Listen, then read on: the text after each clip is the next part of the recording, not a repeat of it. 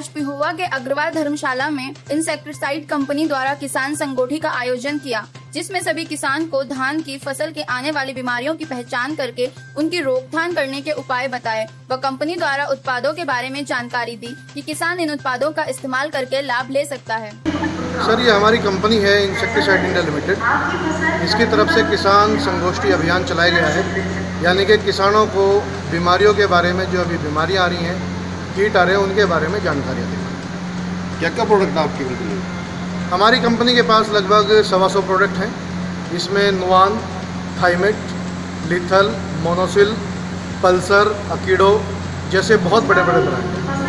Pulsar से याद आया पल्सर की बोतल के ऊपर और पल्सर के एडवर्टाइजमेंट में सुनील शेट्टी जी ऐड कर रहे हैं। हाँ जी। तो क्या सुनील शेट्टी जी को पता है कि धान में कौन कौन सी बीमारियाँ लगती हैं या कंपनी ने किस आधार पर इनकी फ़ोटो चिपकाई या इनका रेट इतने बड़े हैं? क्या उनको कुछ ऐड देने के लिए बड़े हैं? सर ये हमारी स्वदेशी कंपनी है। जहाँ तक कि रेट की बात है तो इसके रीजनेबल रेट हैं। कोई नाजायज़ रेट नहीं है। बहुत सारे उदाहरण हैं कि इंसेक्टिसाइड इंडिया लिमिटेड के पास ब्रांड आने के बाद जैसे हमारा एक प्रोडक्ट आता था बिस्पायरी बैक सोडियम इसमें जिस टाइम ये हमारे पास नहीं था तो इसकी कीमत थी लगभग आठ से नौ हज़ार रुपये और जैसे ये हमने दिया हिंदुस्तान के अंदर मेड इन इंडिया करके तो इसकी कीमत आ गई लगभग उससे आधे रेटों में। तो ये एक उदाहरण है कि कितना जायज़ रेट हमारी कंपनी देती है। जहाँ तक की बात है सुनील शेट्टी साहब की वो केवल एक आकर्षक के लिए है, केवल अपने लोगों का ध्यान अपनी तरफ़ खींचने के लिए है। और जानकारी तो हम किसानों को भी देते हैं, सभी लोगों को देते हैं।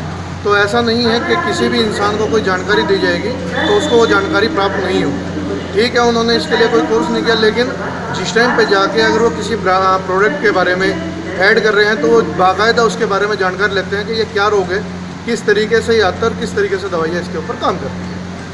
हाँ जी आपका नाम?